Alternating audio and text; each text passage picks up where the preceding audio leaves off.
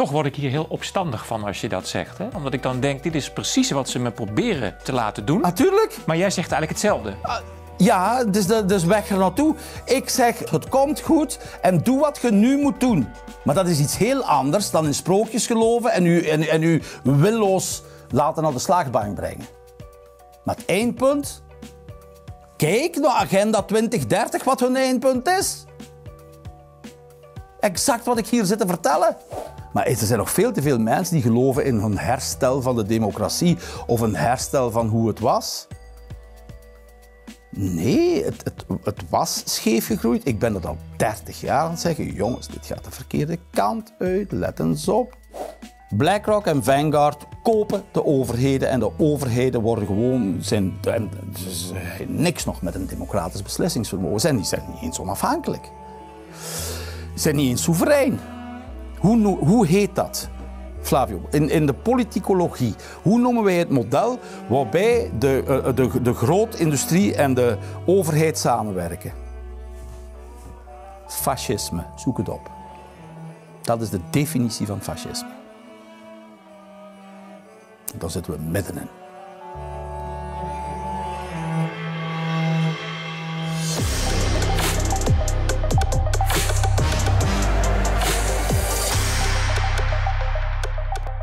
Chef Hoeibergs, ik krijg altijd een glimlach als ik je zie.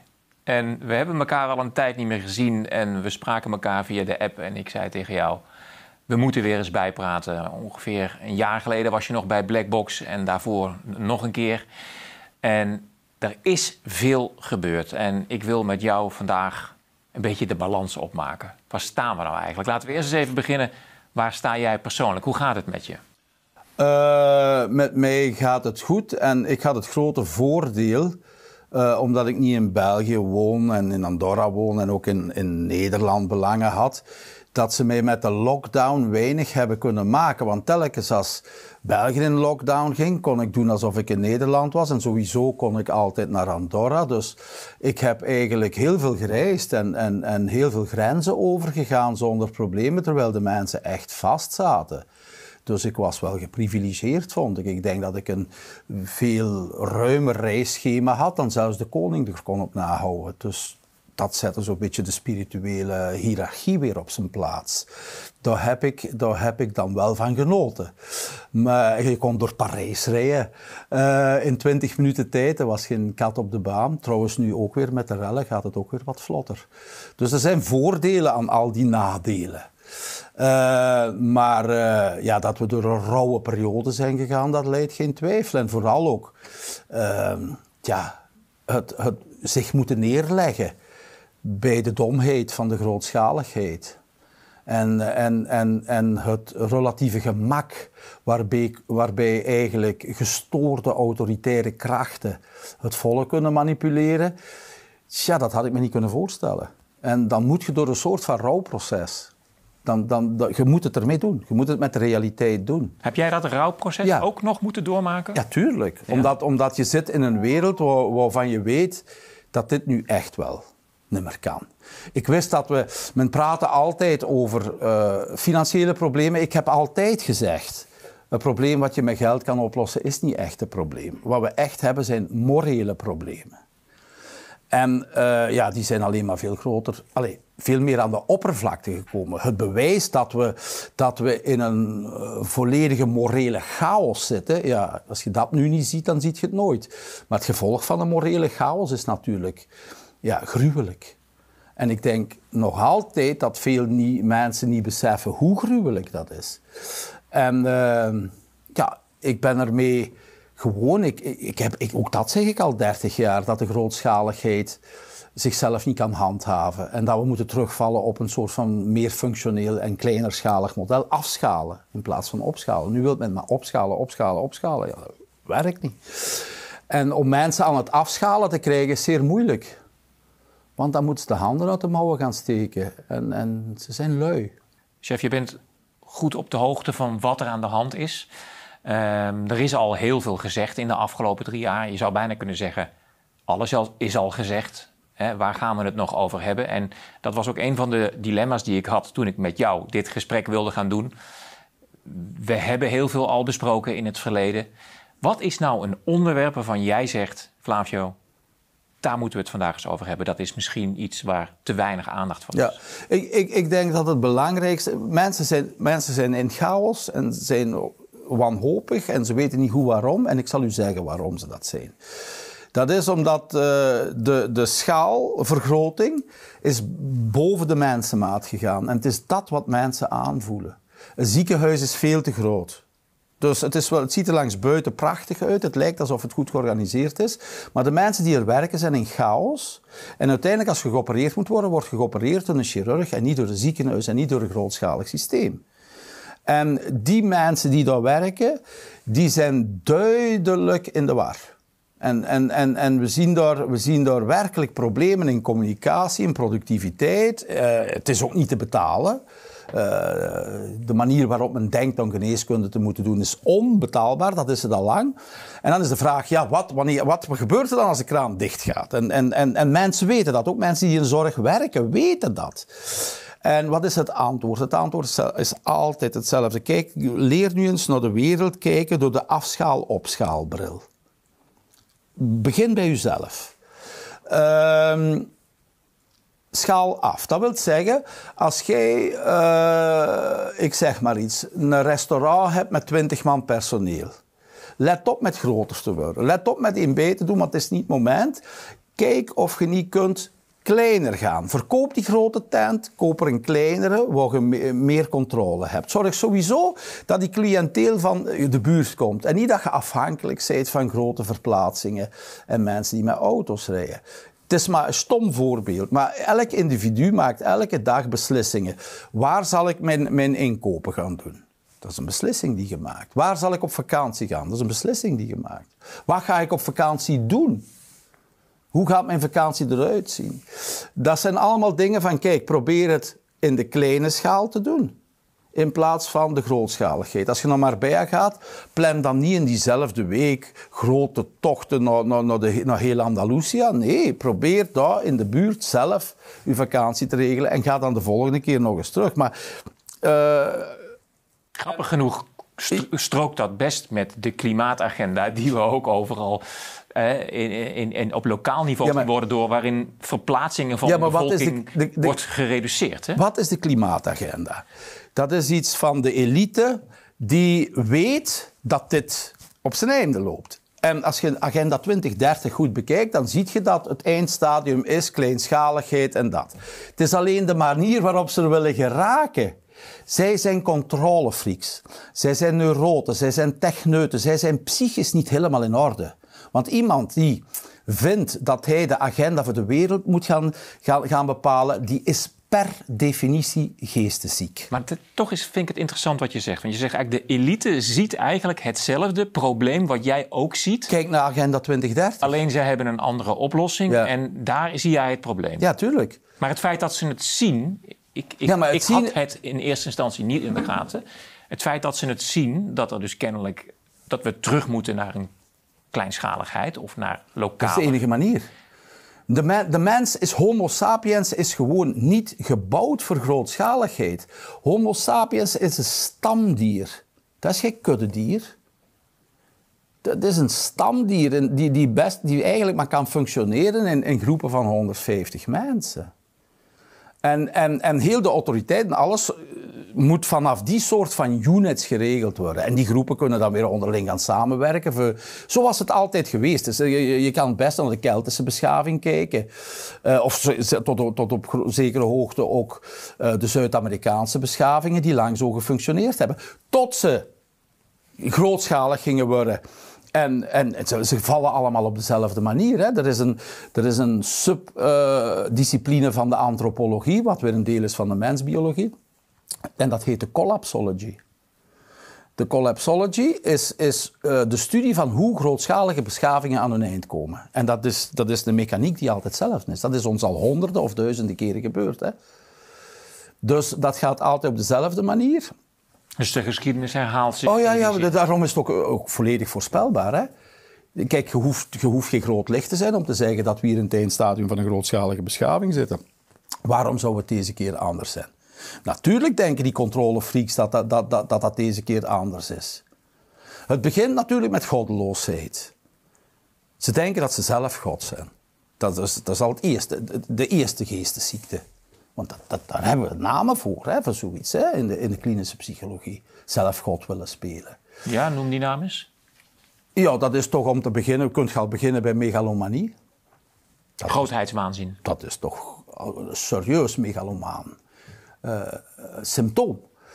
Als jij ook nog zegt, we gaan de hele wereld regelen, jongen, dan zit je knettergek, dan hoort je in een instelling thuis. Jij krijgt nog niet je straat geregeld en je gaat de wereld regelen. Jij krijgt je gezin nog niet op orde en je gaat de wereld regelen. Jongen, jij waant. Toch hebben die machtswellustelingen ervoor kunnen zorgen dat uh, miljoenen Nederlanders zich hebben laten vaccineren met iets waarvan ze niet wisten wat erin zat. Ja, maar dat, die, dat zijn natuurlijk uh, specialisten in de massapsychologie. En het is net omdat de kleinschaligheid niet functioneert dat ze dat gekund hebben. Als er een kleinschalig systeem was van plaatselijke opperhoofden en medicijnmannen, was dit nooit gebeurd. Ja, zie, jij dat, zie jij dat wel weer gebeuren dan? Zal is het, moeten, is het, is het niet Zal een dat zijn of... dat we terug kunnen naar iets wat we misschien helemaal ja, maar Het gaat niet over helemaal terug zijn naar, naar, naar de verleden tijd. Het gaat over in welke richting maak je beslissingen. Dus uw, uw, uw, uw moreel en uw juridisch en uw uh, werelds gezag, ook politiek, geef het terug aan de burgemeesters. ga naar laag niveau. Ja, die zijn in Nederland niet democratisch gekozen, maar goed. Ja, ja goed, dan, dan, dan verkies de democratisch. Of, of doe het op een andere manier, want Plato wist zelf al dat de democratie niet ging werken. Dus denk ook eens over dat, dat fundament van de democratie Nou, Dat kan allemaal, uh, maar je moet er durven over praten. En wat er nu is, nu, nu houdt men eigenlijk de mensen in een soort van waan. Want, want dat hele idee van de van, van hoe de wereld eigenlijk uh, er moet uitzien en waarvan iedereen overtuigd is, zoals democratie en al die dingen. Dat is eigenlijk een, een constructie die helemaal anders is bijvoorbeeld in China of in Rusland of in Afrika. Dus we moeten eens eigenlijk eindelijk gaan inzien dat wij leven in een soort uh, geconstrueerde waan die ons allemaal dingen laat geloven. Trouwens, dat is ook een van de symptomen van het einde van een, uh, van een beschaving. Dat is Toch dat... vond ik die geconstrueerde waan tot zeg maar maart 2020 niet heel, heel, erg onaangenaam. Ja, ik wel. Want ik zag het aankomen. Ik ben het al 30 jaar aan het voorspellen. Nee, nee, dit, dit zat in de pijplijn. Dit zat echt in de pipeline. We hebben, we hebben bijvoorbeeld met, met de komst van het internet en, en, en de mobiele phones, uh, heb jij de jeugd al eens goed bekeken? Zeer moeilijk om met die mensen nog een ernstig gesprek over gelijk wat te hebben. Hè? Die hebben ook geen inzicht. Hè? En dan al die dingen waarmee die op de school worden gebombardeerd, al die waanzin. Bijvoorbeeld de klimaatwaanzin. Uh, altijd datzelfde ijsbeertje dat van de, schots, uh, van de rots aftommelt. Terwijl er in feite twee keer zoveel ijsberen zijn dan tien jaar geleden en ze nog nooit zo vet geweest zijn. En er nog nooit zoveel ijs op de pool gelegen. En je kunt dat gewoon met ene knop op het internet checken. Ja. En toch staat men dat fabeltje met die valse foto's, net zoals met de COVID, de, de, propaganda. En waarom is dat? Omdat die elite die wil via die grootheidswaanzin naar dat eindpunt gaan en die zeggen, ah, 15 minuten steden dit en dat. En nu moeten we de mensen zo ver krijgen dat ze gaan luisteren, want dat is natuurlijk een probleem, hè? Ja. Want ja, dat ziet je nu al. Hè? Je kunt wel zeggen, ah, die cash gaan we afschaffen, we gaan pinnen. En wat is het gevolg? Ze lopen gewoon in Frankrijk de Aldi binnen, halen hem helemaal leeg. En als de baas een bek opentrekt, steken ze hem ook nog in de fik. Niks cash, niks spinnen, niks CBC, niks. Gewoon leeghalen. Kijk, dat is Homo sapiens. En dat is nog maar het begin. Maar Homo sapiens is de meest gruwelijke diersoort. Hè?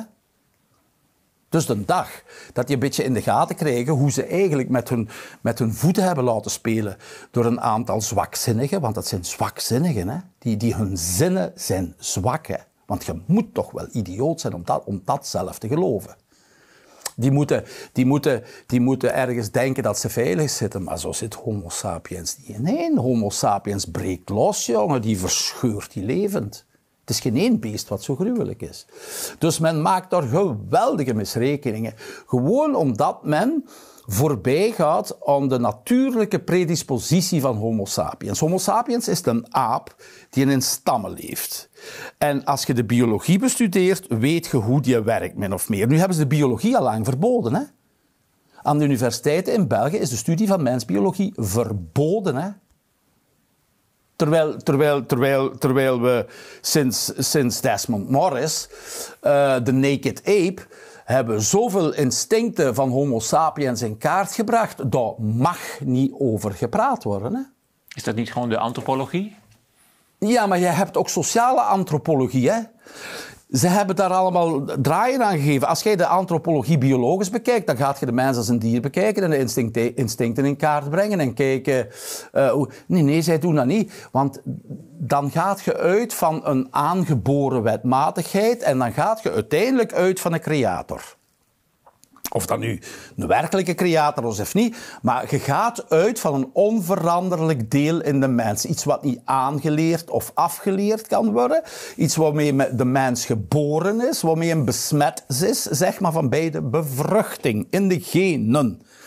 Onbespreekbaar, dat bestaat niet. Want je kunt, een mens die geboren wordt is een blanke lei en die kun je volledig invullen volgens die sociaal-antropologen. Waanzin. Het hangt altijd samen met goddeloosheid en zelf God willen spelen. Altijd. Dat is, dat is de rode draad. Dus het, het, het, het, het, rabiate atheïsme is. is, is en, dan, en dan gaat men in de, in, de, in de meer spirituele kringen gewoon zeggen: ja, dat is een duivel. En daar hebben we al, ook al duizenden jaren literatuur over. Ook over de collapse van grootschaligheid. Hè? Maar wat doe je nu met mensen die nu kijken, die jou waarschijnlijk inhoudelijk volledig volgen, maar die niet religieus zijn? Want jij zegt eigenlijk dat dus een, het erkennen van uh, ja, maar verschil een tussen creator, een, een god... Ja, maar een religie is weer iets anders, hè, Flavio. Een religie, dat is een sociale overeenkomst waarbij men middels uh, de angst voor God de mensen onder controle houdt. Uh, er is een groot verschil tussen religie en, tussen, en, en, een spiritueel bewustzijn.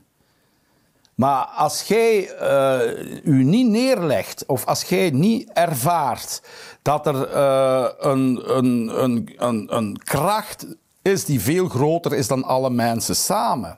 Hoe zou jij die noemen? Ikzelf. De creator zeg ik gewoon met een hoofdletter C. Ja, je houdt het in die zin abstract. Ja, ja, ja abstract, uiteraard abstract. Ja. Niemand heeft dat ooit gezien. En misschien is dat in grote mate ook voor alle mensen conceptueel misschien verschillend. Dat kan me niet schelen, zolang jij zelf maar niet denkt dat je God zet. Want dan komt je op, een, en ook daar is wetenschap over. Hè? Je zegt eigenlijk door de creator te erkennen, moeten we ook nederig zijn. Ja, exact. Ik vul het voor je in. Hè? Ik, exact. spreek me tegen. Nee, nee, exact. Je slaat de nagel op een kop. Uh, men, men, moet met een zekere nederigheid. En, en op, op, het moment men die nederigheid heeft, en dat kan gelijk, gelijk, gelijk, in de islam, dat men zich neerbuigt vijf keer per dag voor God. Uh, als een, wat ze noemen zeker uh, een prostinatie, hoe heet het weer? Ik de paus, De paus doet dat ook als hij op het dingen komt. Maar wat is? Dat is zich onderwerpen aan God. Waarom is dat? Dat is natuurlijk, ja, anders zit je verloren. Want dan gaat je u alles aantrekken. Kijk, dan kun je geen vertrouwen meer hebben. Op een gegeven moment moet een mens de ervaring hebben. Ja, ik heb al dikwijls gedacht als ik dit of als ik dat. Maar de meeste mensen zullen moeten toegeven dat ze gekregen hebben wat ze nodig hadden en niet wat ze wensten. En als ze zouden gekregen hebben al wat dat ze wensten, stel u daarvoor, dan was het binnen de kortste keren ontplofte de hele boel. En wie bepaalt wat je nodig hebt? En hoe gaat dat? Kijk, dan moet je eens naar je eigen leven kijken. Hoe is dat gegaan? Wat is er gebeurd op het moment van uw diepste wanhoop? Uiteindelijk is alles goed gekomen. En uiteindelijk heb je gekregen wat je nodig had. Als bij mirakel. Want zo vanzelfsprekend is het allemaal niet. Mm dus als je dan zegt, ja, dit is een mirakel. Ah, de volgende keer dat ik nog eens twijfel, vertrouw ik erop dat dit proces weer gaat werken. Dus dat geeft je een enorme rust. En wat rust heb je nodig om je te kunnen concentreren. Want zonder rust kun je niet concentreren. En dat is het probleem. Daarom dat de, hele, de hele wereld in chaos is. Probeer jij met eens een bankbediende te bellen. Probeer jij gewoon eens uh, de helft van de tijd uh, in een winkel iets te vragen. Misschien is dat in Nederland iets minder nefast. Maar je ziet gewoon mensen met een soort van uh, dolgedraaide blik naar je kijken. Die ik vijf of tien jaar geleden veel minder zag. Dat is nu een beetje de regel geworden. Er is ook geen concentratie meer. Mensen laten u geen zin afmaken. Misschien wel vies is, maar ze horen hem niet. Test het, ze hebben niet gehoord wat je zegt. Dus wat gaat er in die koppen om? En de gemeenschappelijke noemer is angst. Kun je van mij niet zeggen, ik laat jou een zin afmaken. Ja, ja, ja maar dat is je handelsmerk. Hè? Ja. Ja. Daar krijg je ook kritiek op. Hè? Ja, die Flavio die laat hier maar allerlei mensen leeglopen. Maar ik vind het heel prettig om gewoon eens te luisteren. Ja. ja, ik denk dat dat het begin is. Ja, want jij zei net iets, iets interessants, dat, dat, dat op die universiteiten dus de, de biologie van de mens verboden is. Ja. Ik, ik weet niet wat je daarmee bedoelt, verboden, maar Nee, dat mag echt niet onderwezen worden en dat niet, mag niet wordt- bestaan. Het mag niet, je probeert het. Wa- Er zijn- wat er is zijn- daar dan de oorzaak van, of de reden waarom dat niet mag? Wat- Omdat dat, omdat, omdat dat in diezelfde. Kijk, men zit. eh, Matthias de Smet heeft eh, een boek geschreven over totalira- totalitarisme. En dat is dat mensen allemaal één lijn gaan volgen en die dan zelf maar in hun beperkt bewustzijn gaan invullen. Ja? Dus.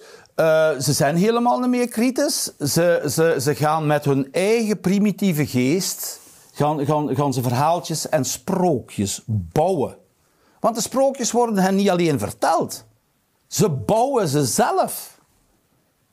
En ze worden gebouwd door, een, en dat is een, ander kenmerk van, van de aankomende collapse. Ze luisteren niet meer, maar ze aanvaarden ook geen intellectuele superioriteit meer. maar waarom, zouden we, waarom zouden we de biologie van de mens moeten bestuderen volgens jou? Ha, omdat dat natuurlijk alles verklaart. Dat verklaart het gedrag, dat verklaart wat, welk eten gezond is en welk eten niet. Dat verklaart hoe vaak je in de zon moet komen en hoe. Dat, dat verklaart alles. Zonder de biologie kun je toch onmogelijk. Allee, we, we zijn het enige dier wat de schepping kan bekijken van op afstand. En we kunnen ze tot op zekere hoogte ook controleren. Maar ja, dan het eerste wat je toch doet, is de schepping gaan bestuderen. Het biologie, de wetenschap van het leven. Ja, maar wat zouden wij aan de mens moeten begrijpen wat we dan nu niet begrijpen? Dat de mens een stamdier is. Dat de mens slechts optimaal kan functioneren in kleinere verbanden. Dat men die hele neiging tot groot, grootschaligheid volledig uit de hand gelopen is. En dan in plaats van die nog verder te zetten, dat er dringend moet afgeschaald worden. Zowel op persoonlijk niveau als op maatschappelijk en politiek niveau. Bijvoorbeeld politieke beslissingen is hetzelfde. Als jij gaat beslissen, bijvoorbeeld, ik zeg maar wat. Ehm, eh, Maar eigenlijk zeg je dat we de evolutie die de mens heeft doormaakt... eh, en dus ook de intelligentie die die heeft om te creëren en te domesticeren... en Ja. op te schalen en Ja. technologieën te Ja. ontwikkelen... dat we die zouden moeten loskoppelen van de mens... en dat we weer terug zouden moeten naar het tribale? Nee, dat we gewoon. We, Ik probeer je te begrijpen. het- kijk, we zitten in een gegeven situatie. Iedereen persoonlijk, zowel als politiek-maatschappelijk. In een situatie. En wat is nu het probleem? Men laat de wijsheid niet aan het woord. Men is niet geneigd iets te geloven. Men bouwt zijn eigen sprookjes. Dat is typisch voor, voor, voor het eindstadium van de ineenstorting van de grootschaligheid. Dat gebeurde altijd. Dat gebeurde bij de Egyptenaren, dat gebeurde bij de Azteken. Die begonnen in de gekste dingen te geloven. Ze kregen moreel verval. Alle morele guidelines vielen weg. Hun munt evalueerde. En ze konden hun eten en meer binnen loopafstand produceren. Allemaal. Op dat moment was het op twee generaties gedaan. Dat is de collapsologie. Dat is wat daar bestudeerd wordt. Dus al de tekenen zijn aan de wand. En, wa- wa- wa- wa- en wat als dus de grootschaligheid in elkaar klapt, wat volgens mij onvermijdelijk is, waar ik ook volledige vrede mee heb, waar ik eigenlijk naar uitkijk, want het functioneert toch niet. Maar wat is het groot probleem? Dat er nu de eerste keer is dat er zo weinig kleinschalige draagkracht is in het fundament om het op te vangen. En door nu de focus op afschalen te zetten, gaat je je fundament terug versterken. Zodat het kan vallen. En dat is exact wat, wat Agenda 22 wil doen, eh, 2030 wil doen. Maar via nog meer grootschaligheid. En daar zit de fout. Omdat men niet wil zeggen nu van... Hé hey jongens, ieder terug wat meer voor zichzelf. Tegen, ah nee, natuurlijk niet, want de grote kapitaal... En, het zijn megalomanen, hè. Ze denken echt de wereld te kunnen controleren. Ja, er zijn er al minder in een dwangbuis gestoken, hè, Flavio. Denk jij dat het probleem ook te maken zou kunnen hebben met het feit dat er nu zulke grote behoeftes zijn, dat er ook dat soort oplossingen worden bedacht die globalistisch zijn? Dat zijn de sprookjes. Want zou je Eh, nog kijk, wel terug het- kunnen naar kleinschaligheid, terwijl er zoveel behoefte is aan Men, men zal producten wel en- moeten, hè? Men, men zal wel moeten, want binnen, eh, kijk, op het moment de grootschaligheid in, er- in elkaar klapt, is ze weg en schiet er alleen kleinschaligheid over. De vraag is, wat voor soort kleinschaligheid hebben we om op terug te vallen? Wat is de kracht van de burgemeesters? Kunnen burgemeesters, hebben burgemeesters zich al eens de mentale oefening gemaakt van wat er gebeurt als het internet uitvalt? Hebben ze zich al eens de mentaal, want het zal plaatselijk moeten gebeuren.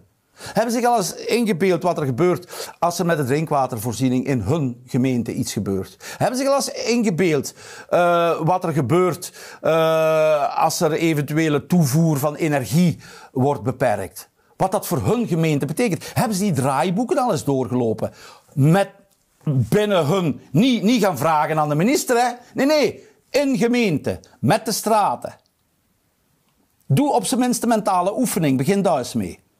Want alles wat mis kan gaan, gaat misgaan. Ja, maar dan ga je ervan uit dat er dus eh, lokale of regionale bestuurders zijn die die mindset hebben. En waarschijnlijk hebben ze dat niet. Dus wat, Ja, maar dat hoeven nog niet. Ja, maar dat kunnen wij als burger Ah ja, maar eh, de- dit kan gewoon een volledig eh, parallel circuit zijn. Jij hoeft dat niet aan de verkozen of geïnstalleerde burgemeester te gaan vragen. Jij, jij, jij kunt een volksburgemeester maken, hè? Ja. Why not? Types zoals professor Bob de Wit, die met zijn eh, project bezig is. Ja, Society eh, kijk, 4.0, kijk, kijk Regio eh, 4.0. iedereen die geïnteresseerd is, iedereen die geïnteresseerd is, die komt elke week daar samen en we gaan het er eens over hebben. Hè? En, en van het een komt het ander. Hè? Maar ja, je gaat toch iets moeten doen. En, en, en, en, en, als er dan beslist wordt van, eh, ja, misschien kunnen we dan eens lobbyen hè, om bijvoorbeeld, ik zeg maar iets, een geothermencentrale op mijn grondgebied te krijgen. Hè, om, om wat eh, warmte uit de grond te halen en elektriciteit. Ik geef maar een voorbeeld. Eh, of eh, moeten we nu per se nog van die hoogbouw gaan zetten? Ja, ik denk dat we zitten hier nu in de stad Edam-Volendam. Ja. Ik denk dat er hier praktisch geen mensen zullen zijn die hier wonen... die het gevoel hebben dat er een probleem is wat jij net schetst. Dat er iemand mee bezig moet zijn. Zij hebben allemaal het gevoel... ik heb een abonnement Ja, ja. bij die en die... en eh, ik betaal ervoor en het is er en het zal Ja, dat blijven. is goed. Hè? En, en, dan- en dan kijk eens hoe de wereld veranderd is. En dan vraag je je eens af eh, wat je doet met de mensen die niet meer betaald worden. En, en, en vraag je eens af wat er gebeurt bij devaluaties. Eh, ik zeg niet dat het allemaal in het volgend jaar gaat gebeuren. hè. En ook niet met dezelfde snelheid. Maar ik kan u nu verzekeren dat in Antwerpen de rijen naar de voedselbank drie straten lang zijn. Hè? Dat was drie jaar geleden ook niet, hè? Ja, in Nederland is dat ook zo. Dus dat is fijn als je. En, en, en natuurlijk op platteland heeft men daar per definitie minder last van. Nou, Ja, ik woon ook op het platteland. Ja, geen haar aan mijn kop die eraan denkt om in zo'n situatie in de stad te gaan zitten. Je kunt wel denken dat de stad veel erger is.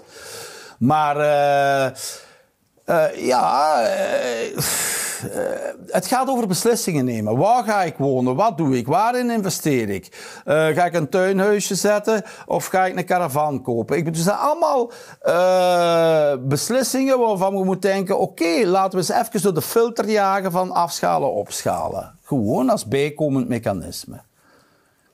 Als, als mentale oefening. Uiteindelijk, uiteindelijk speelt zich alles in de geest af. Hè? Ik vind het zo surrealistisch om te horen, omdat wij hier eh, in de afgelopen drie jaar heel erg eh, met het geluid wat we hebben uitgegeven ook een beetje ageren tegen de agenda die zegt dat we minder moeten consumeren. Hè? You own nothing, you will be happy. eh, eigenlijk minder, minder, minder. En dat het devies eigenlijk ook is dat we zouden moeten afschalen en dus minder moeten consumeren. Nee, Dat, dat, ik, dat ik, denk, ik eigenlijk- denk dat je heel wat meer gaat moeten consumeren dat je, wat, van wat er plaatselijk uit de, uit de molen komt. Ja, Ik, het, het, gaat niet of meer of minder. Het, het, het gaat over het feit van, kunnen wij misschien zelf onze meubeltjes maken? Kunnen wij misschien zelf eh, onze auto's repareren? Kunnen wij misschien, eh, misschien zelf onze wegen aanleggen? nou, je bedoelt dus niet in kwantiteit afschalen, maar in ja. het, het, lokale, het Tuurlijk. En, en, en, waar halen we onze energie vandaan? En als we onze energie echt moeten importeren uit vreemde landen, ja, wat gaan wij maken om die te kopen? Maar dit systeem is nu zo artificieel en, en klapt in elkaar. En dat weet, dat weet de elite maar al te goed. Maar zij willen natuurlijk met Kijk, wat krijg je hier? Je hebt, je hebt grote bedrijven die de regering gebruiken om de wetten te maken. Kijk, had een farmaceutische industrie die graag veel geld verdient en god weet wat nog, door het, door het geven van, waarde, van irrelevante vaccins, die, die een hele montage maken daar rond, wat, waarvan het resultaat is dat ze miljarden vaccins produceren en verkopen. En wie gebruiken ze gewoon met de vingerknip? De overheid om het wettelijk te verplichten. Dus je krijgt hier een collusie tussen de uh, het, de grote mogendheden, het groot kapitaal, en in feite zijn er dat uiteindelijk maar twee, hè? dat is BlackRock en Vanguard voor het Westen. En alle regeringen. En die regeringen die worden gewoon gekocht door die. Uh, dat hebben we gezien tijdens de, tijdens de COVID, dat zien we nu tijdens klimaat, dat zien we met, met de hele woke-agenda. De wederopbouw van Oekraïne? BlackRock en Vanguard kopen de overheden en de overheden worden gewoon, zijn, en, niks nog met een democratisch beslissingsvermogen, zijn, die zijn niet eens onafhankelijk. Zijn niet eens soeverein. Hoe, hoe heet dat? Flavio, in, in de politicologie, hoe noemen wij het model waarbij de, uh, de, de grootindustrie en de overheid samenwerken? Fascisme, zoek het op. Dat is de definitie van fascisme. Dan zitten we middenin. En je weet hoe met fascisme afloopt. Hè? We kennen het. Het is niet alsof, het is niet, het is niet alsof we ons, ons, veel gaan moeten inbeelden. We kunnen gewoon in de achteruitkijkspiegel kijken hoe dat afloopt. Hè? In 1944 zijn, ik weet niet, tienduizenden mensen in Nederland gestorven van de honger, volledig uitgemergeld. Ik heb er beelden van gezien. Zwart-witte filmbeelden. Waarbij Iemand die volledig uitgemergeld was, een ganse pot goudducaten. Misschien 5, 6 kilo goud. Ruilde voor een even grote pot versneden melk. In Nederland in 1944. Dat was het resultaat van fascisme. Omdat fascisme een fundamentele grootschalige uh, wereldbeeld is. Een goddeloos grootschalig wereldbeeld. That's what we're heading for. Wat gaan we daar aan doen, chef? Zorgen dat die basis, het gaat in elkaar vallen. Maar probeer die fundamentele basis, waar, waarbij er op kleine schaal plaatselijk geproduceerd wordt en voor elkaar gezorgd en voor de veiligheid gezorgd wordt. Probeer dat te cultiveren zoveel mogelijk. En wat wil dat zeggen? De waar bepaalt het wie, want dat is nog zo een van die grote problemen van het internet. Wij zitten achter het toetsenbord en we hebben vriendjes from all over the world. Maak nu eens uw vriendjes en uw sociale connecties waar je geraakt binnen een half uurtje fietsen. Begin daar eens mee. Want dat is toch het enige wat gaat overblijven de dag dat het knopje uitgaat. Reken nog niet eens op uw auto. Omdat er geen brandstof meer is. Om gelijk welke reden omdat een of ander gek 15-minute cities heeft gemaakt, of wat dan ook. Maar uh,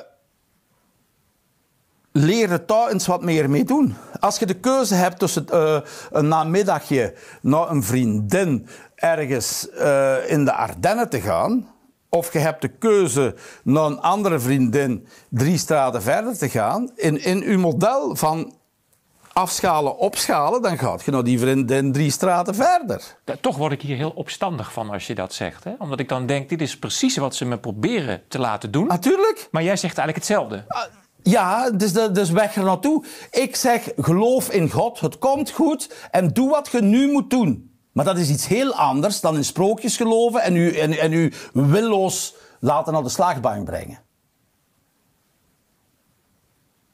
Maar het eindpunt Kijk naar Agenda 2030, wat hun eindpunt is.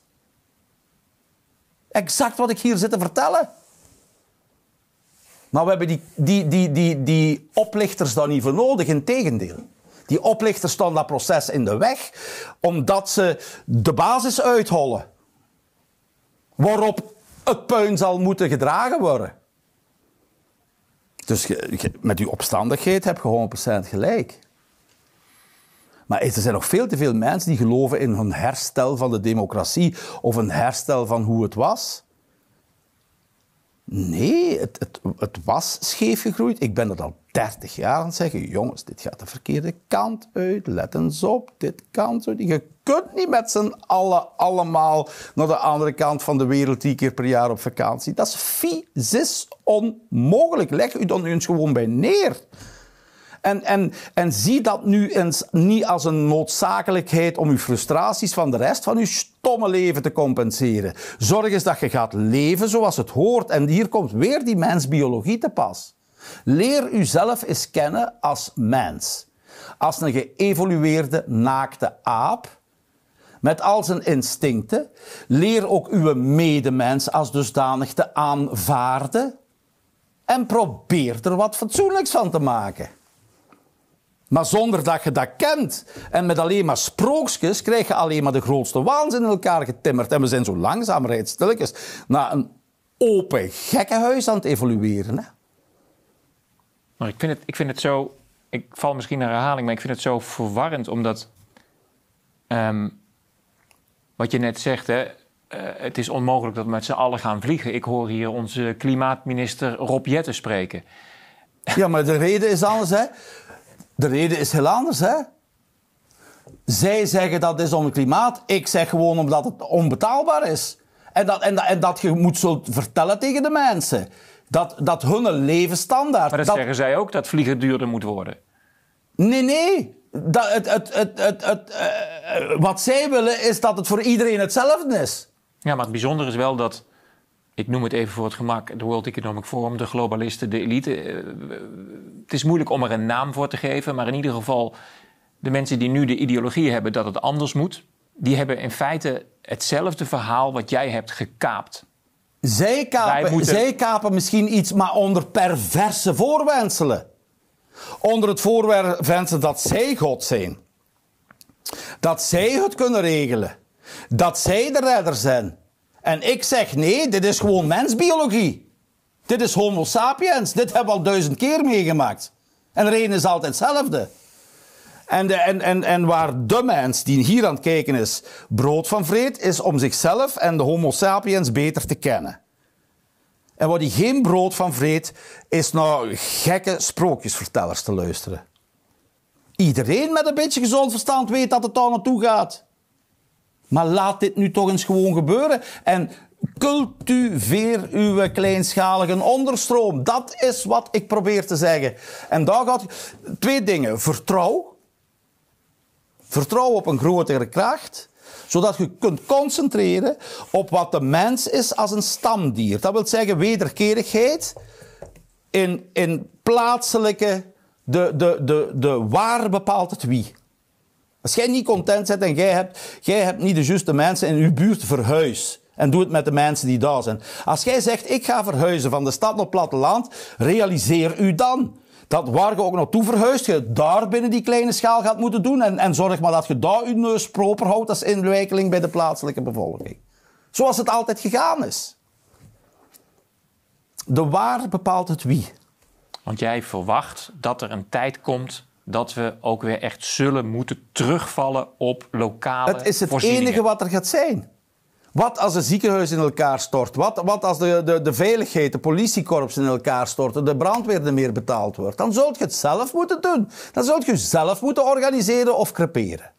Maar dat is dan wel echt een apocalyps waar je het over hebt. Een totale nee, dat, nee dat, je kunt, bestudeer collapsology. Het is al duizend keer gebeurd. De Romeinen hebben het meegemaakt, de Grieken, de Farao's, uh, die, die, die, die beschavingen in het, in het Midden-Oosten, in Mesopotamië, in Zuid-Amerika, in Noord-Amerika, in het, in het Oosten. Ze hebben het allemaal al meegemaakt. Ze, ze, zijn ook, ze zijn ook relatief goed beschreven. Er worden nu ganse boeken over collapsology geschreven. En, en, en de rode draad is altijd hetzelfde. Dat is het drama van het abstractievermogen van Homo sapiens. Men kan in de kleinschaligheid, de, de, natuur, door, door samenwerken van kleinschalige gemeenschap en, en te conflueren in steden en zo, kan men de zaak zo uh, veel meer efficiënt maken dat uiteindelijk dit ten koste gaat van de intrinsiek menselijke waarde van de individuen. En daar gaat het mis. Want de individuen die dan nog wel slim zijn, die worden uitgegroeid. Dat is ook typisch, hè? Dat alle geleerden en kunstenaars opgeruimd worden. Moeten we ons nu door jouw verhaal beangstigd voelen? Of mogen we ook dit verhaal vanuit vertrouwen tot ons nemen? Ja, je doet wat je wilt. Maar als jij natuurlijk denkt... Maar het klinkt niet heel rooskleurig. Of, of, of moet ik, het is wat het, is. Moet ik het anders interpreteren? Ja, maar het is wat... Leer u nu toch eens neerleggen bij de creatie. Leer u nu toch eens neerleggen bij de, bij de, bij de mensbiologie. Het is wat het is. Kijk, het minst rooskleurige wat u kan overkomen is fantasiekes geloven. Ik vond het een boeiend gesprek. ik had niet verwacht dat het deze kant op zou gaan. Want wat ik al in het begin zei. Ja. Um, ik vond het wel spannend om, om te bepalen waar gaan we het nou over hebben. Daarom heb ik ook jou de regie gegeven van oké, okay, agendeer nou eens waar moeten we echt over praten. En je zegt eigenlijk uh, die, die, die, dat mensen weer aan het stuur moeten gaan zitten van hun leven. Exact. De regie moeten gaan pakken. Ja, exact.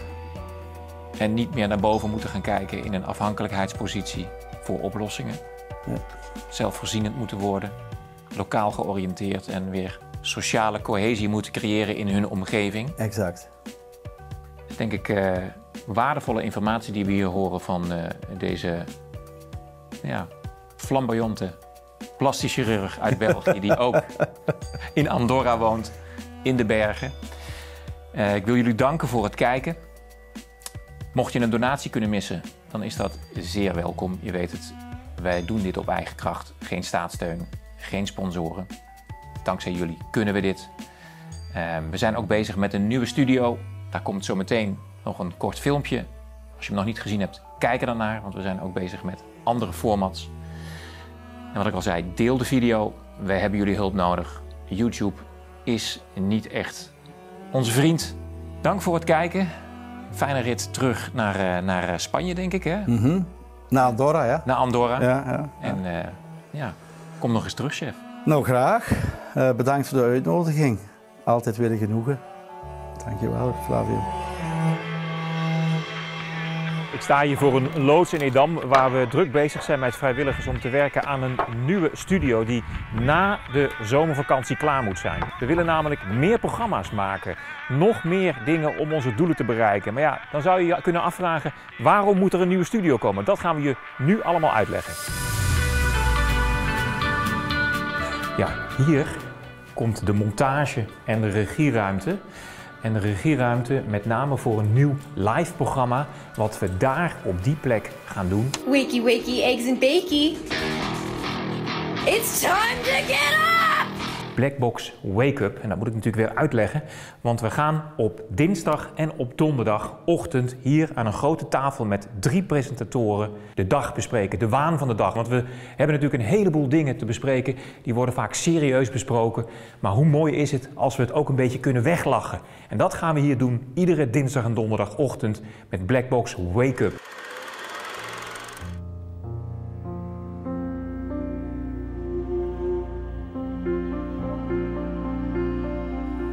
Hoe gaan we om met mensen die dingen willen die wij misschien verschrikkelijk vinden, maar misschien zelf niet verschrikkelijk zijn?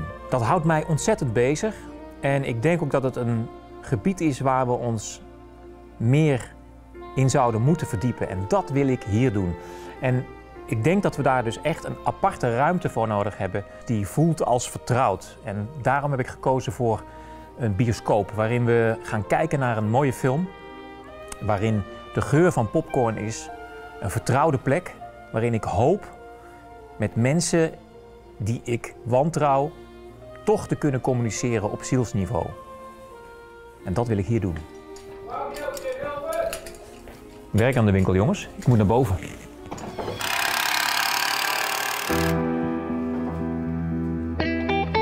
Er wordt hard gewerkt en binnenkort is dit een heel mooi bioscoopje. En boven komt de prachtige Blackbox Wake Up Studio. Hier gaan we ook nog een aparte set maken voor een ander programma, Estafette. En in deze bioscoop ga ik ook nog initiatieven ontplooien zoals Blackbox Academy met mini-colleges van deskundigen. We gaan dus echt heel veel nieuwe dingen doen in het nieuwe seizoen na de zomervakantie. Maar naast deze materialen en de geweldige inzet van deze vrijwilligers hebben we ook equipment nodig. Camera's, audioapparatuur, regie, licht en dat kost een bak met geld. En daarom vraag ik jouw steun. We zijn dus een crowdfund campagne gestart, zodat we dit kunnen realiseren. En wie weet zitten wij hier binnenkort dan wel samen in deze bioscoop naar een mooie film te kijken.